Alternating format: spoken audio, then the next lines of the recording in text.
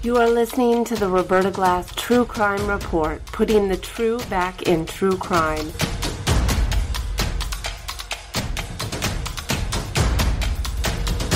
From New York City, Roberta Glass is now on the record.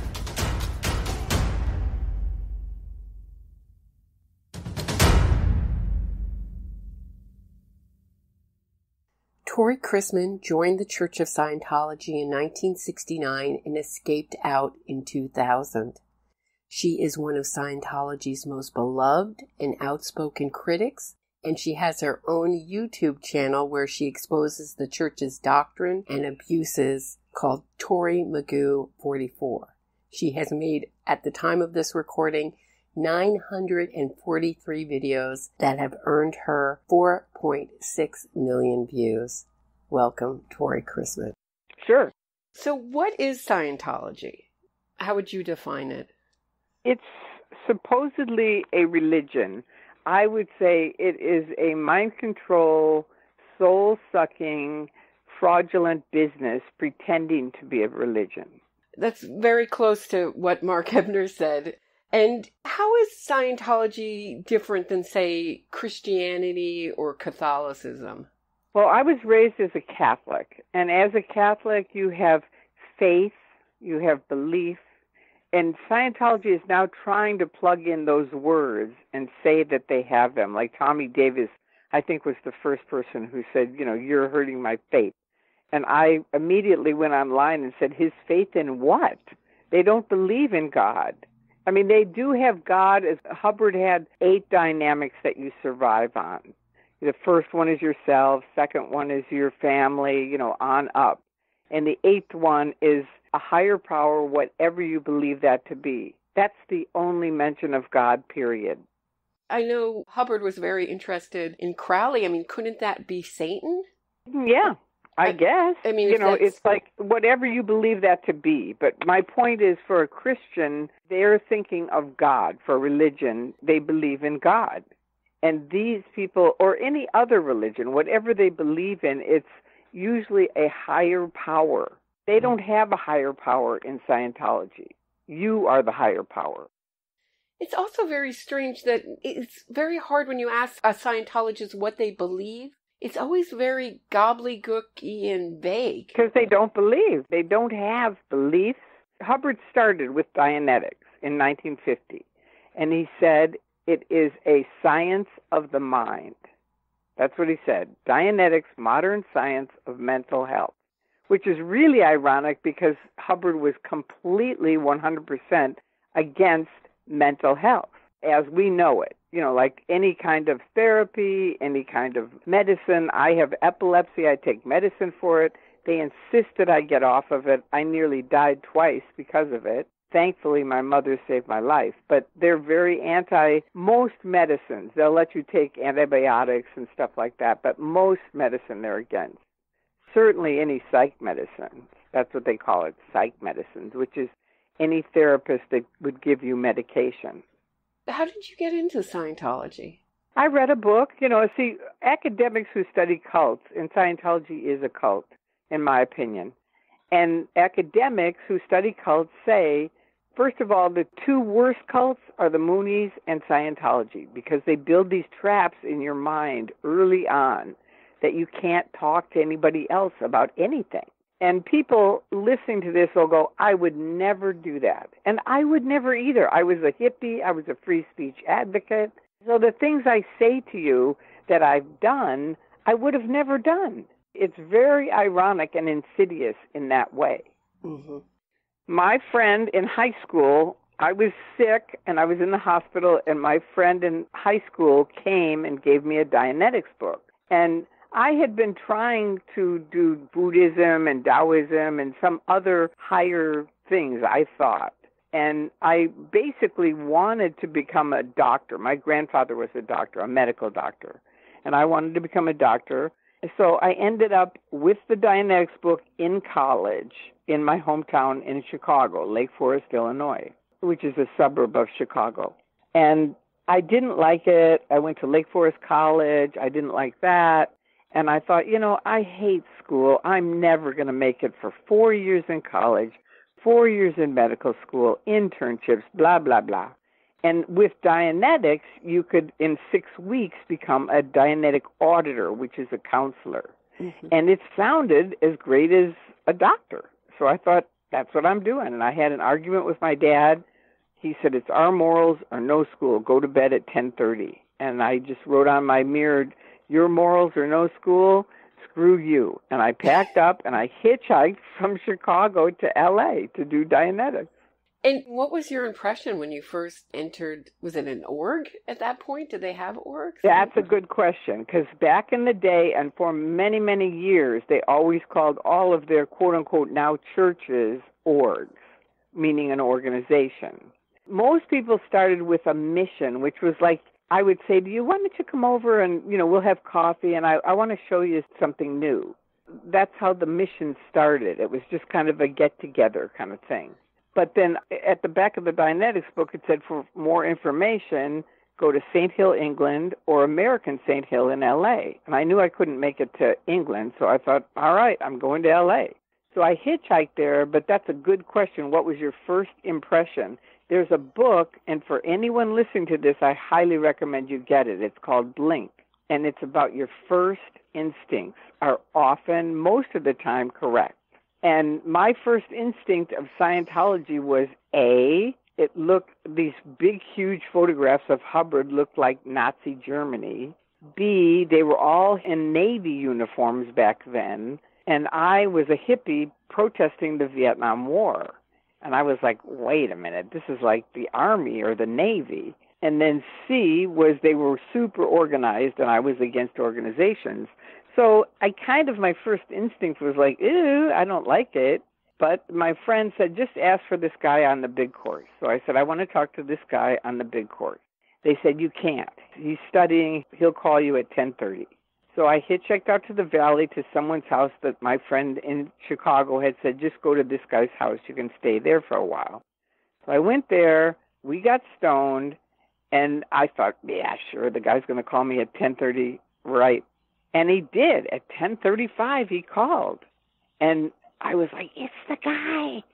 and he said, and he said, "Hi, Tory. Okay, I'm going to come out and get you, and I'll be there in about 20 minutes." And again, we thought, yeah, sure, he's going to drive out here at 10:30 at night and get you. And he, sure enough, he came to the front door, got me, brought me back to the American St. Hill, which was this big organization, and all these highly trained auditors were outside of the organization at the time talking. So he bought a six pack of beer. I thought, well, he can't be all bad. He drinks beer because they seemed very like kind of brainwashed, like kind of like robotic. The staff did, and so I thought, well, he drinks beer, he can't be all bad. So then he let me ask him different questions, you know, like why do they have those big pictures? You know, why do they have to wear the uniforms? That kind of thing. And everything that I would say, he'd say, oh, we don't, we don't really care about that. That's the staff. That's the Sea Org. That's not us. We're auditors. And that's all I wanted to do was become an auditor. So basically he said, let's go talk to the auditors. And I remember standing next to some auditors, and they were talking. And I remember thinking, I don't care what these people do, I want to be one of them. And that was the beginning of the shutdown of my critical thinking. That's so interesting. They said, "Well, that's not really that's not really part what this is about. Kind of the the creepy militarism, the other things. Yeah. You know, it's so interesting. Back then, it wasn't. It mm-hmm. really wasn't. The Sea Org was, but most of the public, we all agree, we had a really good time back then. It was very fun. It was very. Di- we used to say, if it isn't fun, it isn't Scientology. Now, you would never say that now. Never. Not even if you were in. You wouldn't. So, what made the change? Is it David Miscavige or? I think it was a combination of Hubbard was basically, I think, you know, he started in the, I think, 49, said, if you want to make money, start a religion. So he wrote Dianetics, started it. I think he believed in a way that he could really help people. But obviously, he wanted to make money. Now, anyone listening, Scientology is like a triangle. So you start out, they go, oh, it's hardly anything, or it's free, it's twenty dollars, come on in, do the communication course. It's nothing, right? But once you get on that mind control train, honestly, it's very hard to get off. It is. Because they, first of all, as soon as you get on, soon as you join, as soon as you walk in the door, before you do, they already know your major buttons. Mm-hmm. Buttons are things that we all have that if you push them, you get upset or you have a reaction. And they find out what those are while you're out on the street. They're talking to you. You know, like what's ruining your life. That we used to ask people that back in the 60s and 70s. And people will tell you, they'll go, Well, I can't communicate, or I can't make money, or I have trouble with my family. So they already know this is your button, this is your problem, right? Uh-huh. So now, once you get in, you do a communication course. Most people that did it said that was my biggest win was the communication course. It, it's a simple course, but it's a pretty good course. Mm-hmm. and that's the then, is that the cheapest course in Scientology? Well, now they have free things because people didn't even want to pay for that. So now they have freer things, a few little things. But as soon as you become a Scientologist, which you have to pay to become to say you're a Scientologist now. You have to join an association that are Scientologists, and that costs money. Mm-hmm. Now they know your button, so they just keep coming back to it and saying, you know, I know that you had wins on the communication course, but you didn't really fix you needing money, let's say. So the next course will really help you with that. And they also have already found out who you really respect. And if you don't go for it with the person that you're talking to, they bring in people that they know you would respect. And those people say, oh, definitely do the next course. You know, there's all these courses that you need to do, but the next one for sure will help you. Wow. So you're always looking forward. Yeah. So you got into Scientology, you wanted to help people. I mean, what is the goal of Scientology? They're always talking about like a better world. How do you think you're doing that in Scientology? Hubbard said we're going to clear planet Earth. That means you're going to get everyone up through their clearing course and they will be rid of what he called the reactive mind. Now, ironically, he said you have the analytical mind and the reactive mind. The analytical mind is like a computer just recording things. Mm-hmm. The reactive mind is where your buttons are. It's upsets, losses, pains, different things like that that you have. And he said if you can erase the upset, the charge, he calls it charge, electrical charge, if you can erase that, then you will be clear. Now, obviously, that didn't really work out. So now they're doing all kinds of other little things like the Way to Happiness and Narconon and other front groups that are trying to spread out in the community, make Hubbard's name good, and then they can get them from there, jumpstart over into Scientology. So, do they really think that they're going to clear the planet, like get every person on? Oh, yeah. Okay. And they constantly are pitching because you have to understand like in the united states they've pretty much gone through it and we're all like yeah we know we're not interested you know most people.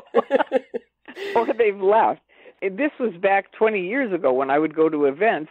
They were back then saying well we're in guatemala and the police department in guatemala is now using this study tech and everyone will cheer and stand up and clap and it, it so it has this peer pressure group think that you get into.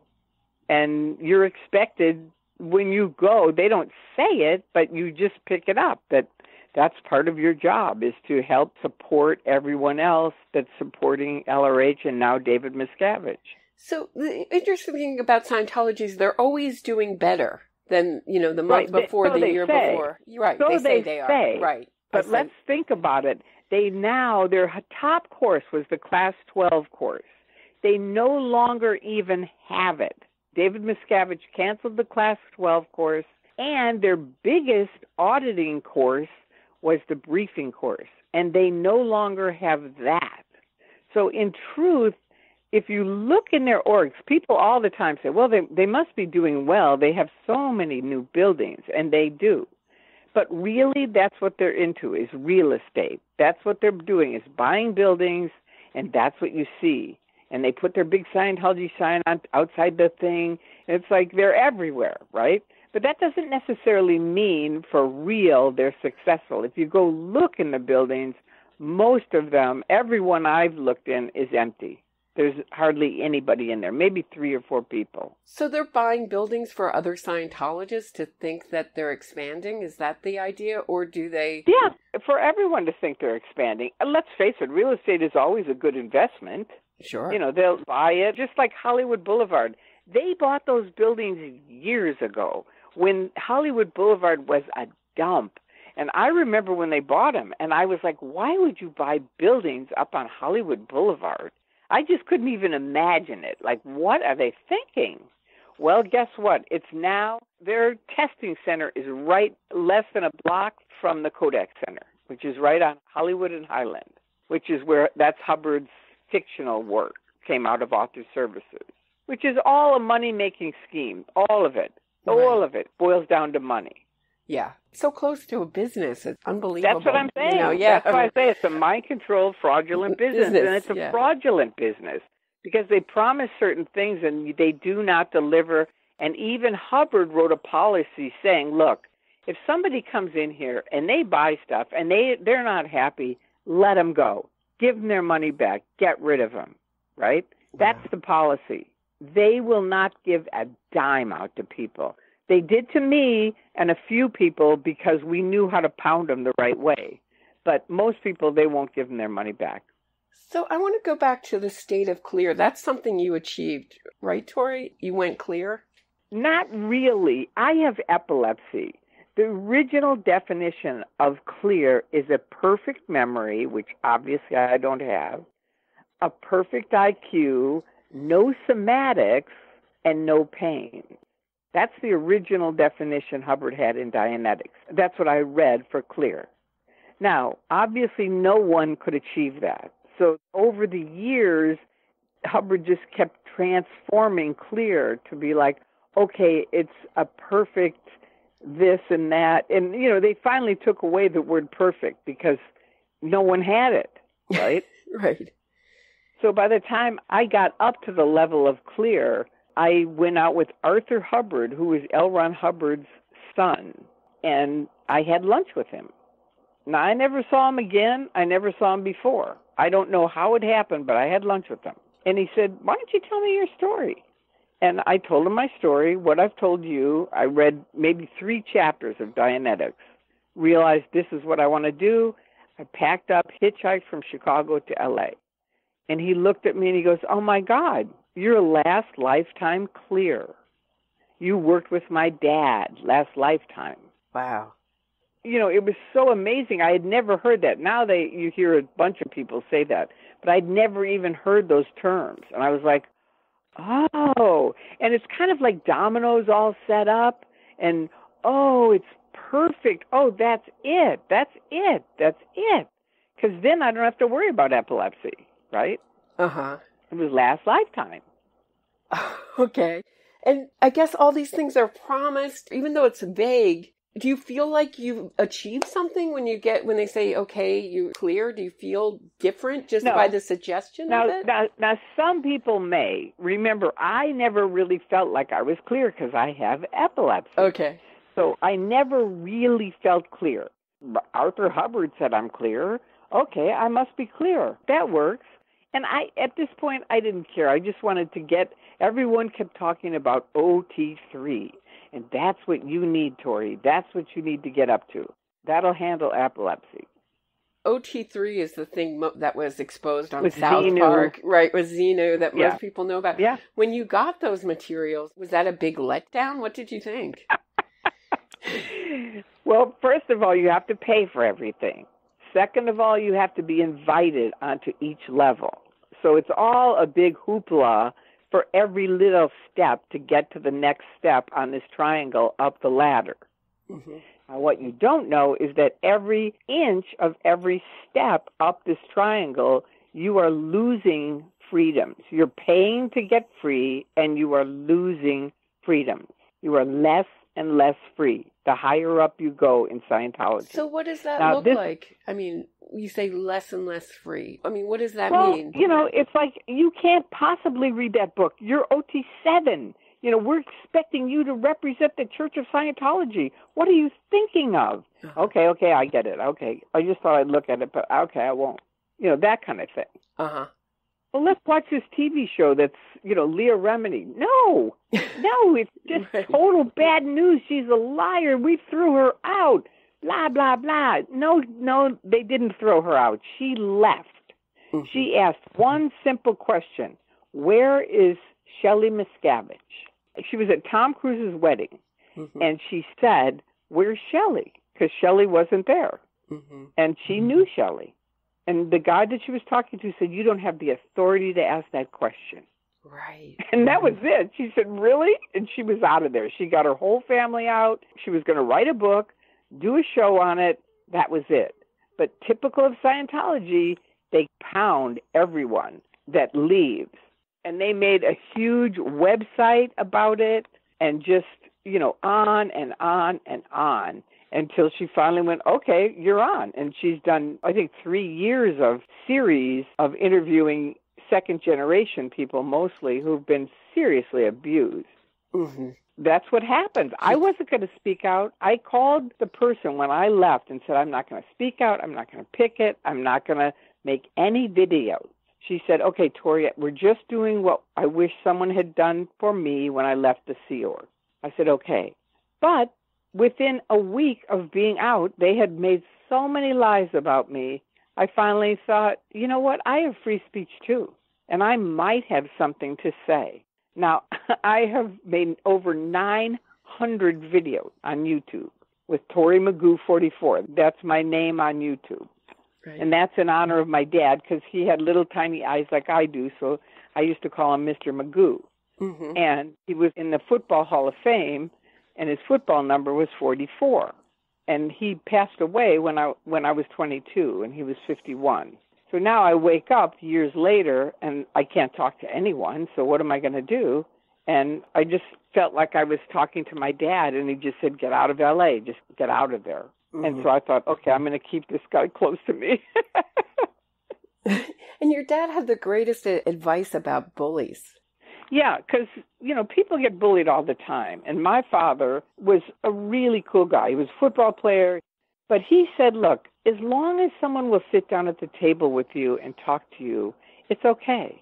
You know, it's okay that they disagree. That doesn't matter. The only people that won't sit down with you and talk are bullies, and they will not ever talk. And that was one of my realizations towards the end of Scientology. I realized that's who they are. They won't talk. And in Scientology, isn't communication the universal solvent? yes, yes, the it is, and that's so one rich. of the ironies. So, just back to OT3 quickly. Did it sound crazy to you when you heard? okay, back when story? I did it, like now they have a whole course on it because they they realize it's a lot to get people to believe. Mm-hmm. But back in my day, they handed me a little folder, put me in like a closet, literally. It was a little tiny room by myself, and handed me this folder and said, This is OT3. And Hubbard writes, you know, back in blah, blah, blah, this year, I was out on the ship and I started realizing that 75 million years ago, there was this evil warlord named Xenu, X E N U is how he spells it. And anyway, he went on to tell this crazy story. And I just thought, this is insane. And, uh, you know, this can't possibly be what all these people have been telling me what it is. You know, it just was like, this is absolutely total insanity, right? Uh-huh. But then I sat back for a minute and I thought, now, wait a minute. I have epilepsy. No neurological doctors to this day know what actually causes epilepsy. They think it might be this or it might be that, but they don't really know. And so I thought, what if this is it. That yes, you're covered with these spirits called body thetans that are from this other planet 75 million years ago, and they've swooped down and they've covered up all of our bodies, and that's what's causing our pain. So that's what got me going, well, I'll try it. And I had huge wins on it because only because it really taught me a man hears what he wants to hear and disregards the rest and if you believe it enough, it's true for a little bit. That's interesting. Like I really thought I was erasing epilepsy. So every session I would come out and people would go, oh my God, you look so much different. And I did. I would look in the mirror and go, wow, I really do look different. I look better. I look healthier. I truly thought I was erasing it. There's a very interesting part of Scientology where you can't talk about your case with anyone else. You were married to a Scientologist. How does that affect a marriage or your friendships? I don't think you see it when you're in. I call it the Truman Show because if you, any of your, your audience has seen the movie The Truman Show, that's exactly how Scientology is. You're at the right time, at the right place, blah, blah, blah. Anyway, that's Scientology. So for me, when you're in the Truman Show, you feel like you're doing the right thing. So you don't need to share with your friends or your husband because that's built in from day one don't talk about it. If you talk about it, you're never going to get free. If you read these books we tell you not to read, you will never get free. This is why, and Hubbard listed out all these different organizations that had fallen by the wayside in history. And he said that's because they didn't have a path. They really didn't have a strong path with barriers. You can't go over this. You won't make it if you go over it. So then you're like, oh, okay, that makes sense. Now think about it. For people listening, they're going, I would never buy that. Sure, because you're listening to me, Tory, telling you the truth about it. But when you're surrounded by people, imagine being in your room, whoever you are, and there's two or three hundred people going, Yeah, that's right.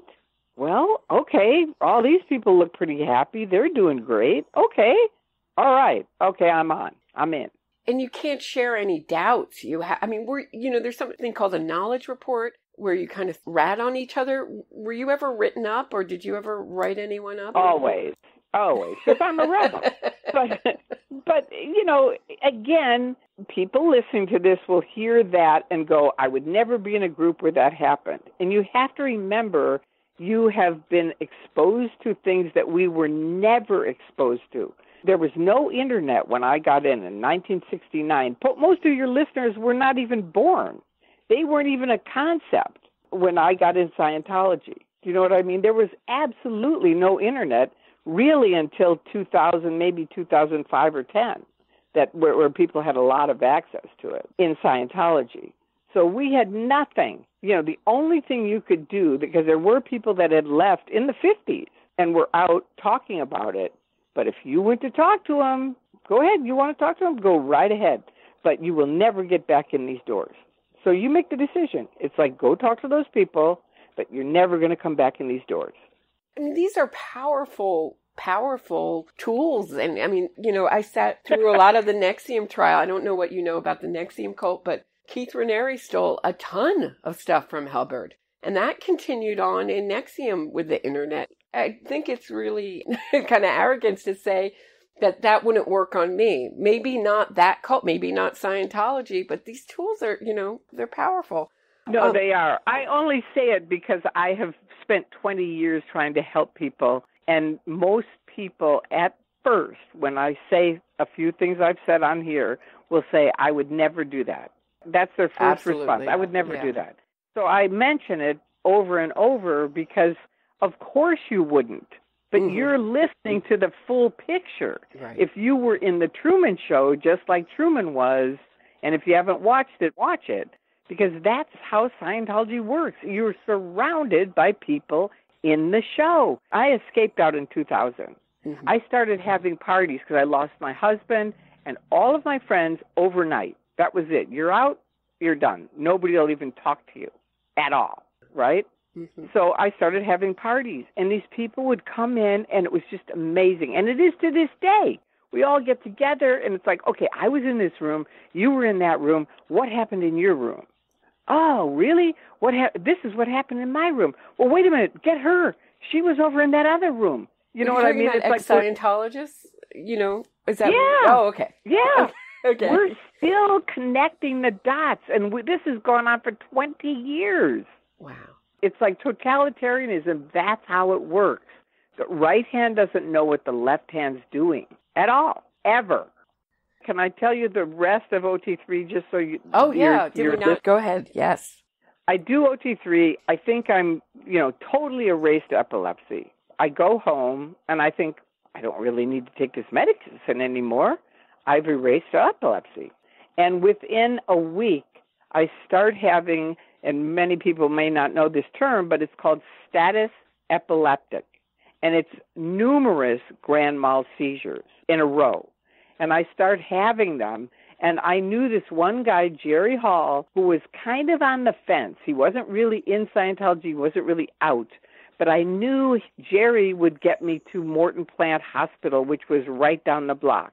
I knew if I called the Church of Scientology, they would do later what they did to Lisa McPherson, which was drive her 45 minutes to a Scientology doctor, and she died on the way. Right. So I called Jerry, and I don't even know what I said. I just said, Get over here. He came, he got me to Morton Plant Hospital. The doctors told me five more minutes and you would have been dead and I'm listening to the story, and I'm wondering, did you ever say to yourself, "Well, the reason I'm having these seizures is the thetans that are stuck on me coming off," or sort of? Of course, yeah, of course. Right. Okay. And so do they. You know, it's like right. I said, "Well, I finished OT three. I know, but you haven't done OT five or OT seven, and those will help you."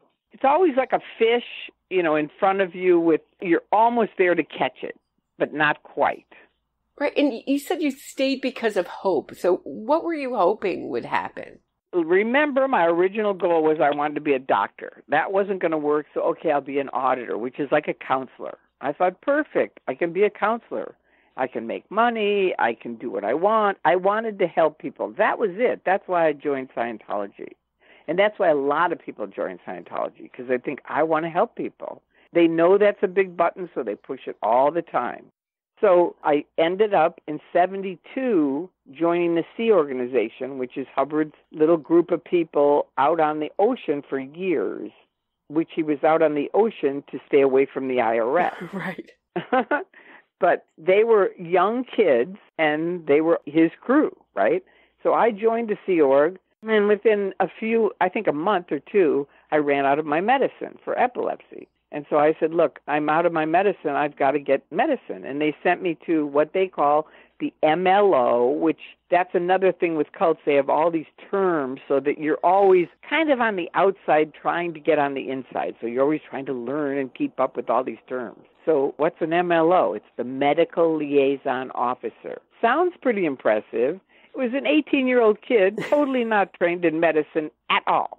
Uh-huh. And he said to me, Tory, we don't take medication. We're the top 10% of the planet. So we're going to get you off your medication with Dianetics and vitamins. And here's the reference for vitamins. And he showed me this thing with Adelle Davis. If you took enough magnesium, that would handle seizures. I was like, oh, okay. Long story short, I started having grand mal seizure after grand mal seizure after grand mal seizure. And thankfully, my mother stayed on top of it. And she called me every day and I was having these grand mal seizures, so of course I was losing my short term memory. So now she said, What are you doing tonight? And I said, I'm going out on a date. She said, Okay, I'll call you tomorrow. So she called me the next day. She said, How was your date? And I said, What date? And she said, Tory, listen to me carefully. Either you are on your medication today, and your doctor calls me today and tells me you are on your medication, or I am personally going to fly out from Chicago to LA. I will be there by tomorrow. And believe me on this, Tory, L. Ron Hubbard and the Church of Scientology will never forget your mother. And I knew my dad by then was working for NBC broadcasting with Curt Gowdy. And I knew they had all these lines to different media. And I knew my mom. She was a kick ass woman. And she would have not just come and nailed Hubbard and the church, she would have been on every media station saying, "Don't let your kids get in Scientology." So they gave me my medicine, and I took it for 30 years. But I fought them for 30 years about it. They always were trying to get me off of it. I mean, up until when you left, were they still? Yeah. Wow. Yeah. So that's why I always say people when I left were like they would call me and say, "We're really worried you're going to go back," and I'd say, "Okay, listen to me carefully. You saying that to me, Tory, having gone through this shit with my medicine." is like telling a Jewish person they're going to go back in the concentration camps. It is not going to happen. That's so interesting because I, I told uh, my boyfriend that I was doing this interview, and he said, The question I want to know is, did she ever want to go back? Never. That's Not ever. That's the question. As much as a Jewish person would want to go in a concentration camp, you can tell them that. I will. So you said you were part of some a secret mafia. What was the aim and what was your part of it?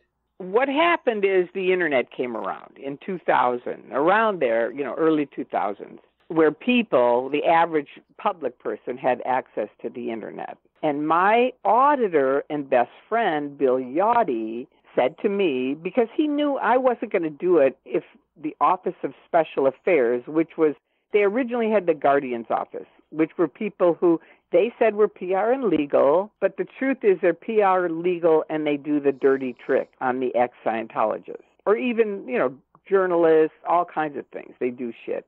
11 people went to prison, including Mary Sue Hubbard, in the 70s, or I think it was the 70s. It might have been the 80s. I think it was the 80s, the early 80s, when they had the the bust of the Guardian's office, and they all these guys went to prison for a year.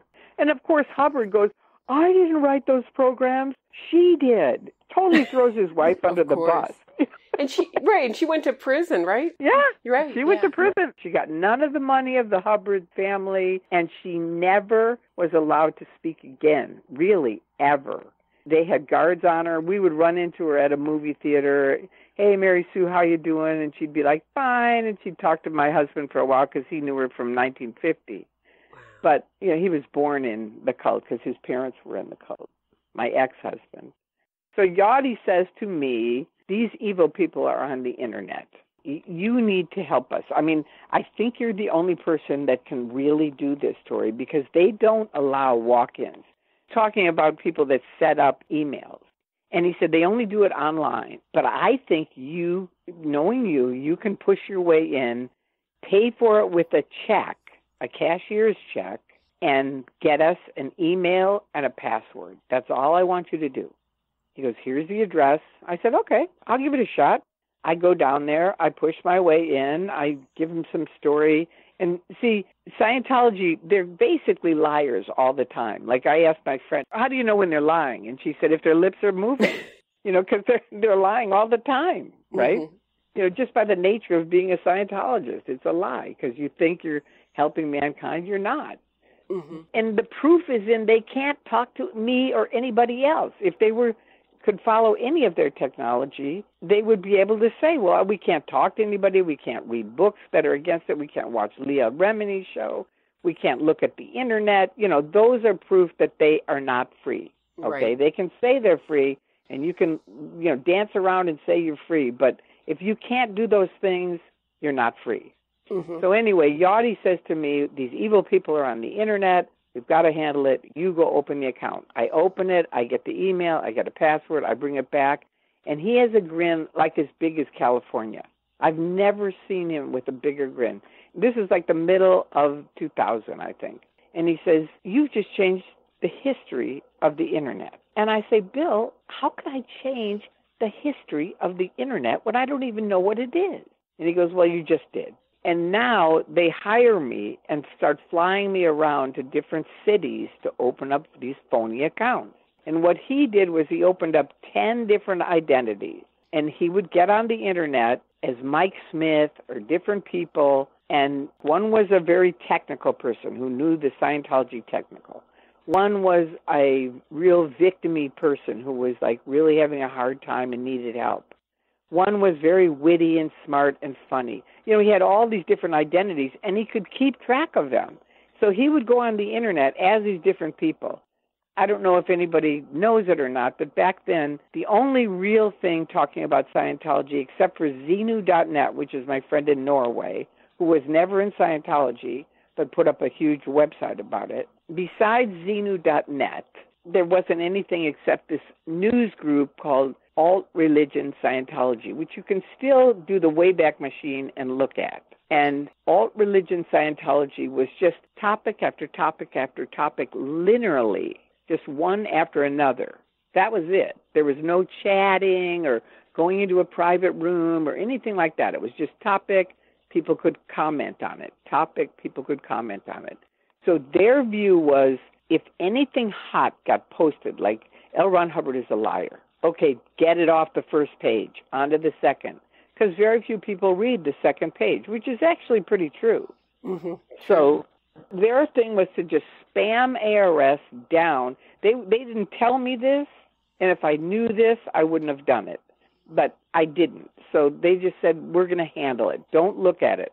And I said, "Well, what are you doing with these accounts?" And he said, "Look, these are really evil people. They're going to get you in deposition for months, and you don't want that, Tory. So we're just not going to tell you. And then you can honestly say, I don't know. I don't know what they were doing. And he said, Doesn't that sound better? And I said, Yeah, okay, because I really trusted him. I had told him, I'll do anything. Whatever you ask me to do, I will do it, Bill. So they knew, okay, she's our girl. She'll do it. Because I'd already said it in session. It wasn't that same website or news group um, kind of the beginning of you leaving Scientology? Yeah, and I wouldn't read it because I was really afraid of the internet because one of my dear friends, Nancy Many, had literally pretty much gone insane. It looked like she was jumping out of her back window of her house and really screwed up. It took me leaving to talk to her and find out. Bill said, "Oh, she went insane because she was reading the internet, Tory. That's why you don't want to read it." And I was like, "Oh, okay. I'm never reading the internet." But when I got out, I found out they had drugged her and reverse audited her. Auditing makes you better, reverse auditing makes you worse. Most people have never even heard the term reverse auditing in Scientology. You don't even know what it is. No. But they do it. Wow. And so I didn't want to read the internet, so I wasn't looking at it. But what happened is, do you, do you remember Battlefield Earth? Yes. Who could forget it? Okay, so uh, yeah, so it was like one of the worst movies ever, even for we in Scientology. It was like, oh my God, what a nightmare. No, this is awful. So, okay, they started a message board called Battlefield Earth, and my friend Mark Bunker, who's now a dear friend of mine, but at the time he he had Xenu TV, and you have to know back then the word XENU Xenu was highly confidential. No one knew it they didn't want anyone to ever see it. So I started fighting them on this message board just to try to get rid of the word Xenu. I started calling him the fat TV guy and stuff like that. Of course, he didn't change it. They were laughing their asses off watching me go nuts. and so I finally called Warner Brothers and I said, Look, you've got up this message board about Battlefield Earth. I'm a mom, I'm a fan. I live here in Burbank. And this is ridiculous. You've got all this stuff about the Church of Scientology on your message board about Battlefield Earth. Take it down. Now, I'm in sales and I know how to get up to the top person, and I did. And he said, okay, I will report it. And he did. And the next day, a guy from New York called me. This is Mr. So and so from Time Warner, New York, and we got your message, and we are taking down the message board Battlefield Earth. Wow. I was like, wow, okay, cool. But I really missed those guys. They were like cowboys in the old days. They could say what they wanted. They could do what they wanted. They didn't have all these restrictions that we had as Scientologists. And I just thought, oh, I just missed that. I mean, it was like real freedom. And I thought, well, now I've gotten rid of it. Now I can't even talk to him, even though I was sort of pretending talking to him. I wasn't like really talking to him. So I thought, I know, I'll go on alt religion Scientology. And I did. Now, they had already put the Net Nanny on the internet, on all of our computers. So, what really happens is that blocks out everything negative about Scientology. Everything. You know, oh, people hate Scientology. Where? I don't see it. No. But that was back in in I think 1999. I think we did that or 98. Mm-hmm. So, so Yachty had come to my house and said, "I have to take something off your computer, and then I want you to do something." So I said, "I just bought this computer. What could you have to take off?" And he explained that You know, well, this is a thing that would hurt your case. We don't want that to happen to you, so I'm going to take this thing off. So he took off the net nanny. So now I have access to the internet, and that's how I was able to see still too afraid to read, and he knew that. And he said, Don't read anything. I just want you to look around, and if people are asking for the OT5 material, you get me their name. That's all. And I said, Okay. So that's all I did. That was it. And then I started making little posts that you can still go back on the Wayback Machine. And I think I was Miss Magoo 55 at the time. They're just nuts I just sound like an insane person. And people were saying that. They were saying, She's crazy. Don't don't even talk to her. Or they thought I was a guy. So they were saying, Don't talk to him. He's he's just nuts. You know, he's crazy. I was online from early in the morning until two in the morning. Wow. No, four in the morning. I was on until four in the morning. Then I would go to bed because I'm kind of a night owl.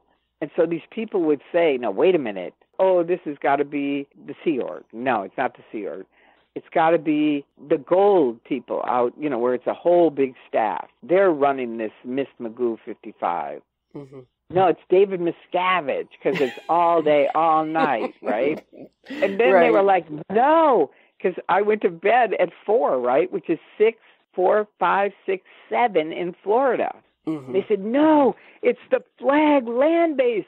That's how they're making all these posts. They have all the staff at Flag are posting on alt religion Scientology. You know, they're posting all these crazy posts. Wow. So, And it was really just me in my dining room. but this was also a big part of your waking up, right? How did that happen? Well, the the big part of my waking up was number one, OT7 didn't work. I was on it Okay. for seven years. It didn't work. They wouldn't let me off. I was a hundred pounds overweight.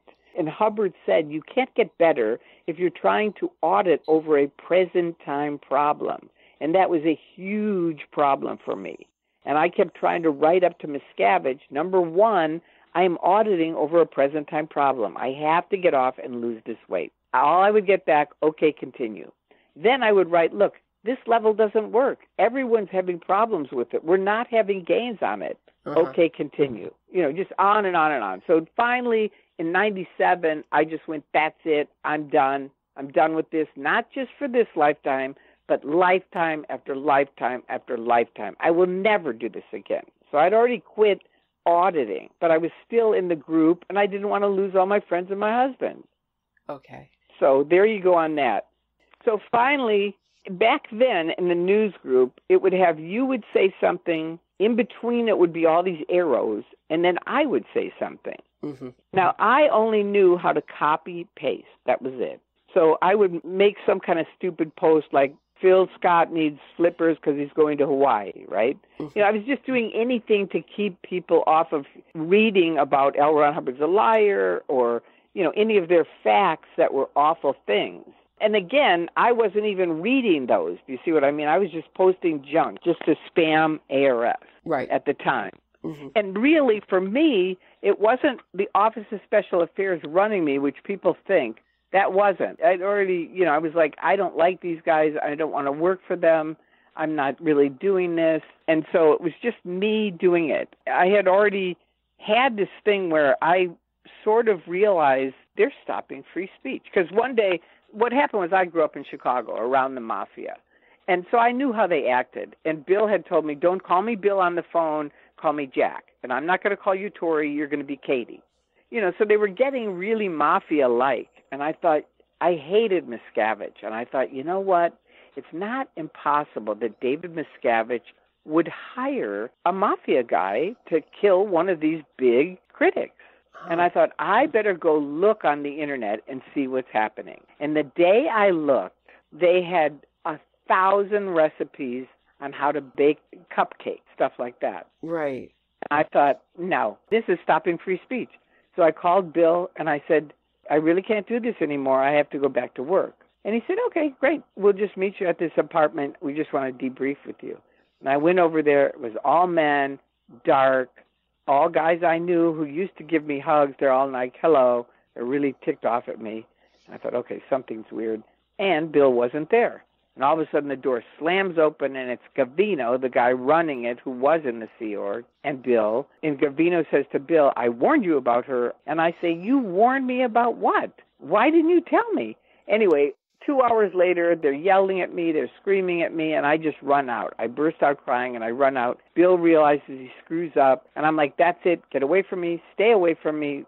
So that was really when I left Scientology that night because Okay. they turned on me. Right. But then I got onto ARS, started making these posts. Finally, Andreas writes me and he says, Magoo, nobody can understand what you're saying because you're not formatting what you're doing. And I said, I don't know what formatting is. And you have to realize now I'm talking to the biggest suppressive person on the planet, I think, because he has this huge website up, xenu.net. And I think, whoa, this is so intense, but he's trying to help me. Okay, so he goes, all right, here's what you do to format one, two, and three. I do it, it works. And I think, oh my God, this is like the worst person on the planet, but he just helped me more than Scientology ever has. So my mom always taught me write a thank you note, and there's a little blue link there, which was his email. So I clicked on it and put, "Dear Andreas, thank you for helping me, Magoo." And so he writes back, "You're very welcome. Best wishes, Andreas Heldal-Lund." But he has his full address, full phone number, cell phone number on it, all that. And I think, oh my God, here he is, the biggest suppressive on the planet. We're lying about where we are, who we are, what we are, our phone number, our addresses, everything. It's all lies. He's out there telling the truth. Mm-hmm. And that was a major change for me. And I wrote him and said, I said, you know, thank you so much. And he said, well, you're welcome. I said, I just have to ask you one question. Like, why are you attacking my religion? And he said, Tory, I believe in truth. I believe in looking at both sides, and I have the courage to say what I think. I don't think Scientologists are bad. I just think they're misinformed. I suggest you start reading. And I always wanted to go back in the Sea Org, so I found Mary Tabayoyon, who's now passed away, but I found her article, Ladies, if you're thinking of joining the Sea Org, read this. And I read it, and it turns out now they have enforced abortions. No one is allowed to have children in the Sea Organization in Scientology. And I sat and cried for four hours. I couldn't stop crying because it was just awful. It was like how she had, they made her get an abortion and then they made her go back on post the next day. And it just was like so awful. And I was just like, I did not join Scientology to stop free speech and I did not join Scientology where they won't allow children. This is awful.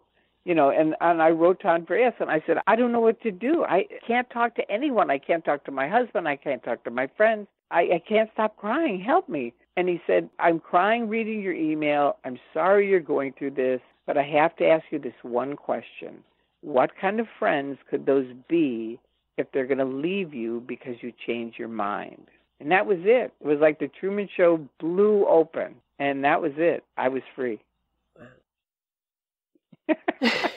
it's an amazing story. You know, your husband stayed in and divorced you after you left. I mean, you took a big risk. You you left everything you knew. You lost all your friends. I mean, do you think there was something about your personality or your upbringing that allowed you to do that?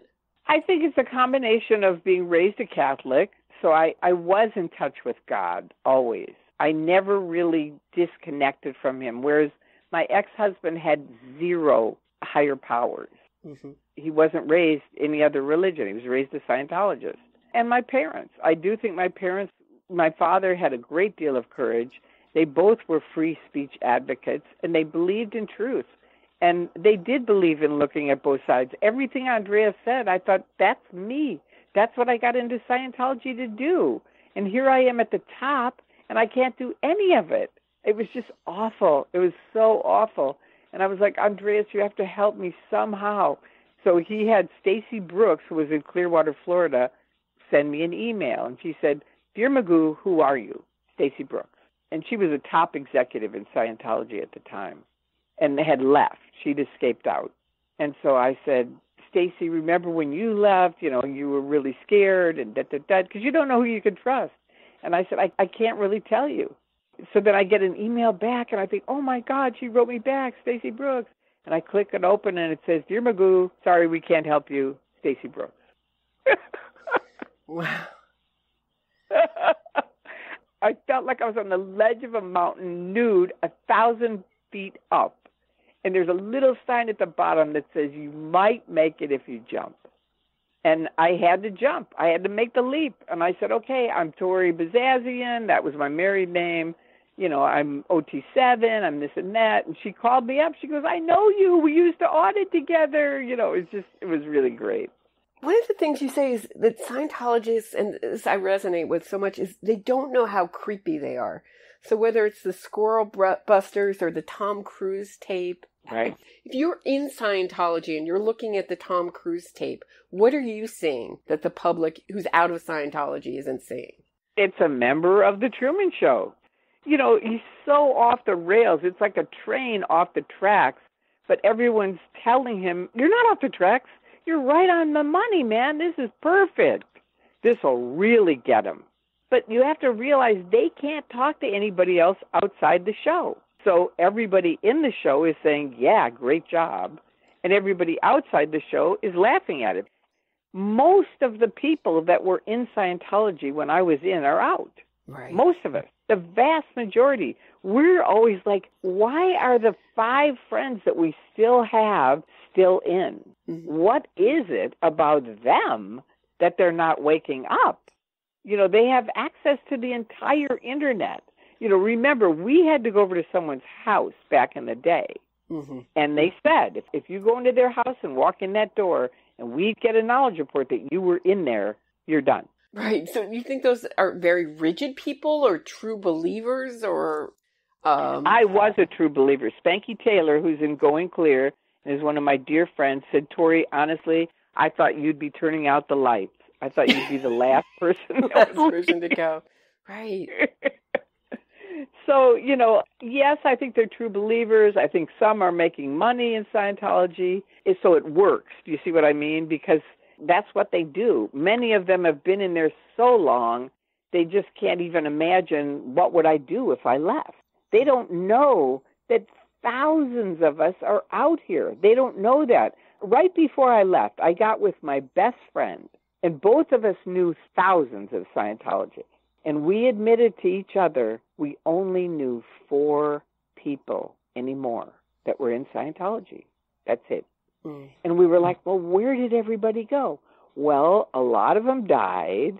Some committed suicide. I know 15 kids who've committed suicide, myself personally.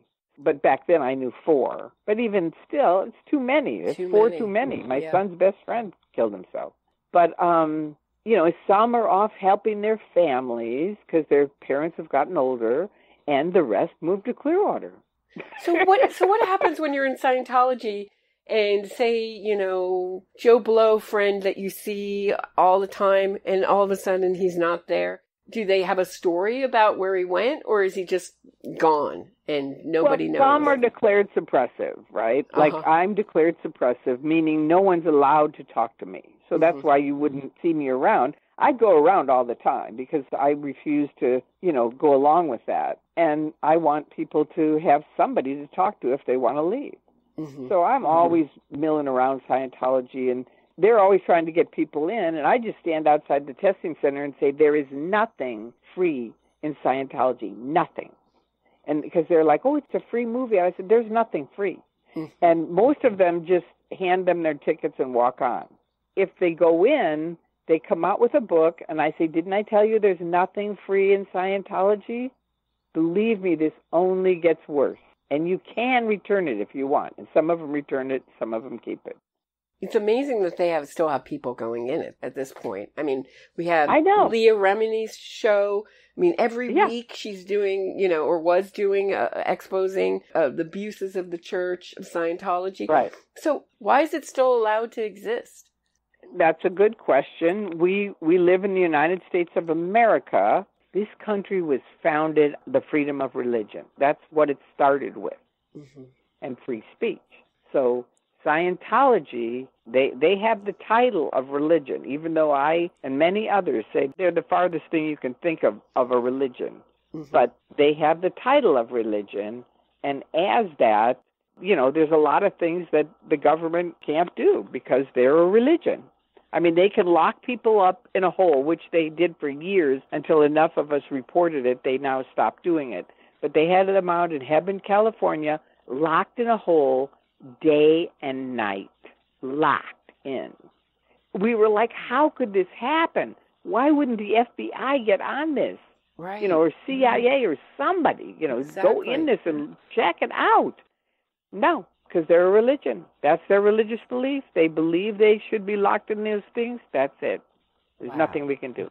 You just wonder with things like Waco and, you know, you know, Yeah. Scientology has never, that we know of, gotten a bunch of guns and gotten some kind of armed. Oh yes, force. they do have Oh, they guns. do. They oh, they do, do have guns. Okay. This is a good question because many, many journalists asked me, would they ever do a Jonestown thing? Now, some of your listeners may not even know what that is, but you can Google it.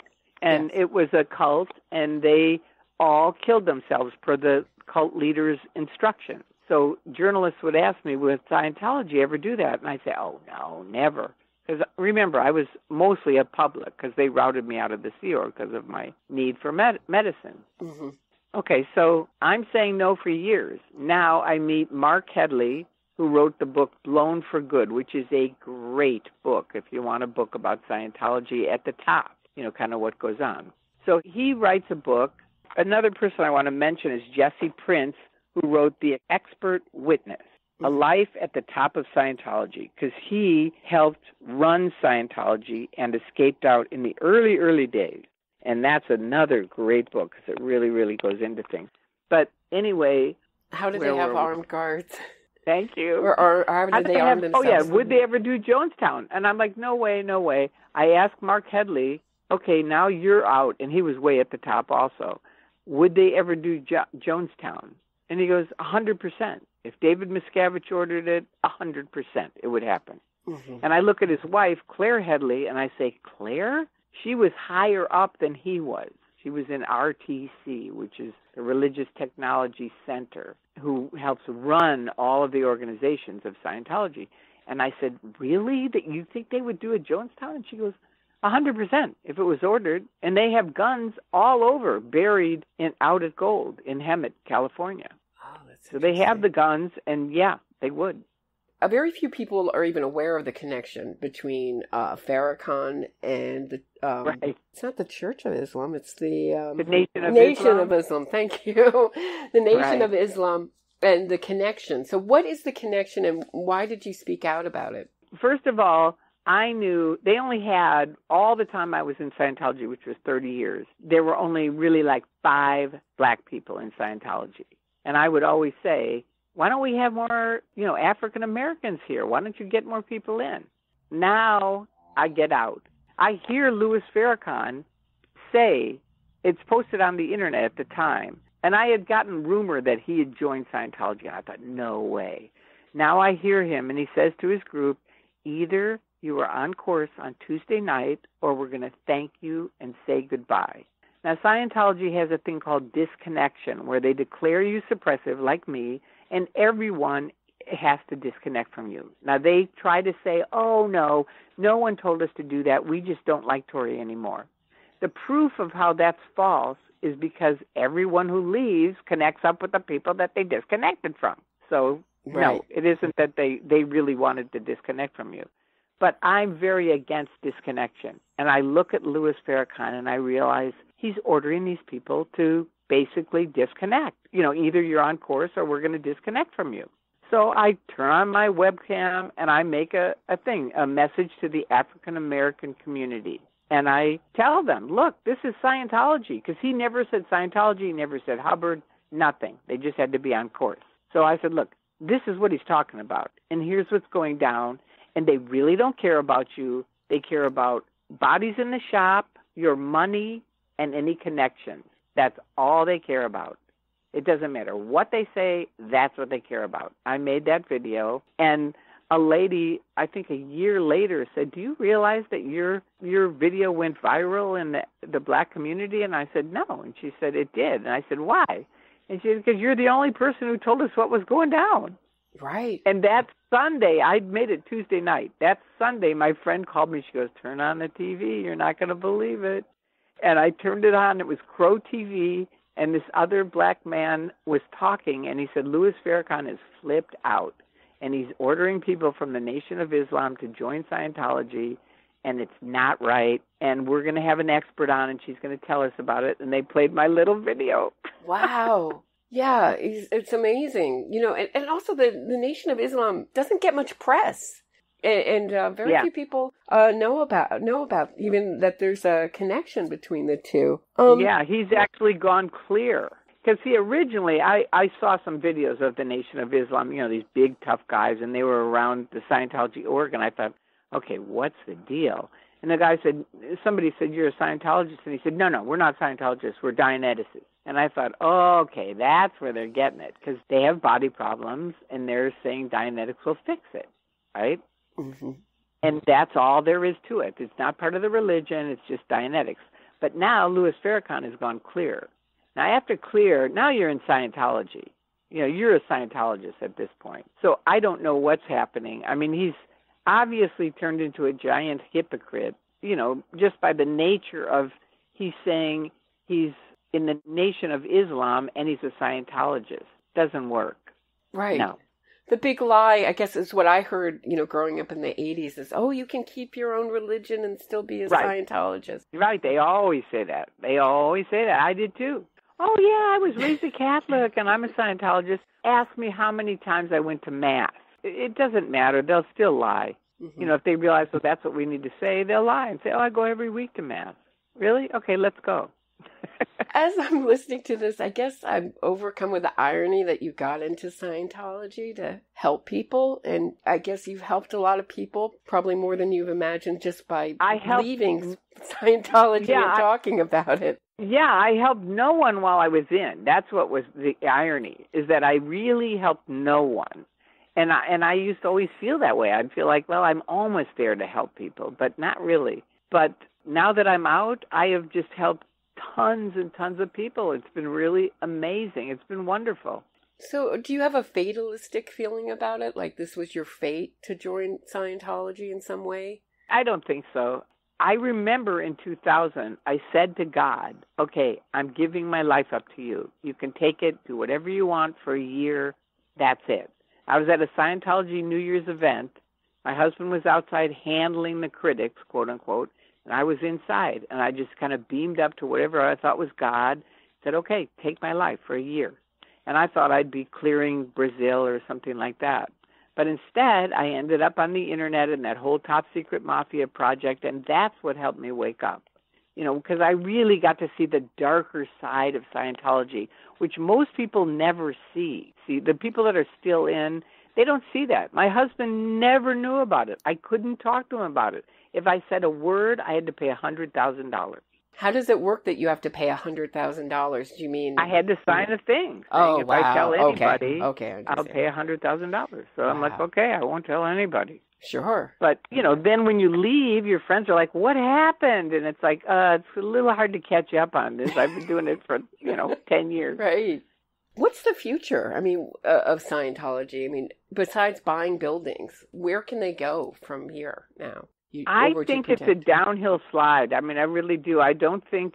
I mean, they can get more buildings. You know, like I told them when I first left, if you got rid of all the negative things that they do, which are awful, you know, stopping free speech, declaring people suppressive, you know, fair game where they Hubbard said you can lie, cheat, steal, destroy someone utterly and without any consequences, right? And so they've done a lot of creepy stuff to me and to many of my friends, right? Mhm. But if they got rid of all that, and if you got rid of the OT levels, because they don't really work for 99.5% of the people, they don't work. And it's a ton of money. And if you lowered the prices and just did the lower bridge, which is like talk therapy and some little processes, but if you just did that, I think they'd be a very, very successful self improvement group. And if they stop saying they're a religion, but they won't because that's their nonprofit status. Mm-hmm.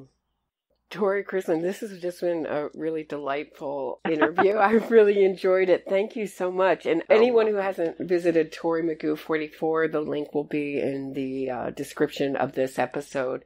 As you can see, I, I'm no lack of information.